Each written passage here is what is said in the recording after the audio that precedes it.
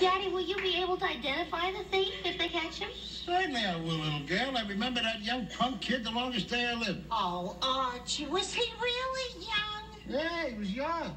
And believe it or not, he was white. Why shouldn't we believe that? You never pick up any black fares. Ah, shut up. Why don't you never pick up any black people, Archie? You want me driving up there to Harlem? Suppose my cab broke down the corner, 137th Street and Lenox Avenue. What do you think would happen? Maybe somebody would repair it for you. You're always saying that colored people are good fixing cars. Ah, that's only when they're in white neighborhoods. Archie, you are so full. Where's your dinner? Why was that? Why was, why was that? Full of what? Full of what? Hey, hey! The women cut you off, but you was going to say something dirty in the living room, yeah? You were talking stupid. Why do you always have to talk stupid? To make you understand.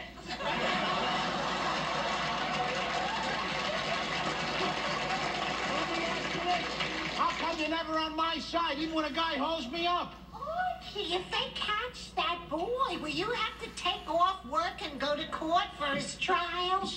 I will. Sure I will. I'll lose a day's pay, but it's worth it to see that piece of filth thrown into the jug.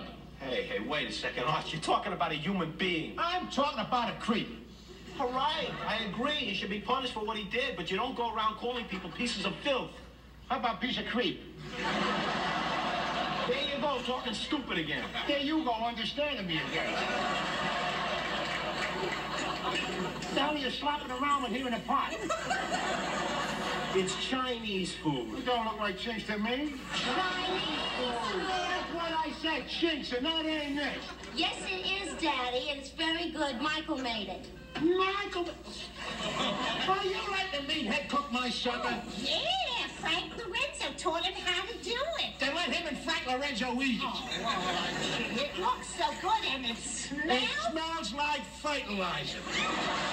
That's what you're full of. That's it. You have to eat it. He's not eating the food. Daddy, you can at least try it. What would you say if you cooked dinner and Michael wouldn't eat any of it? I say that the meathead probably got magnesia and forgot where his mountain was.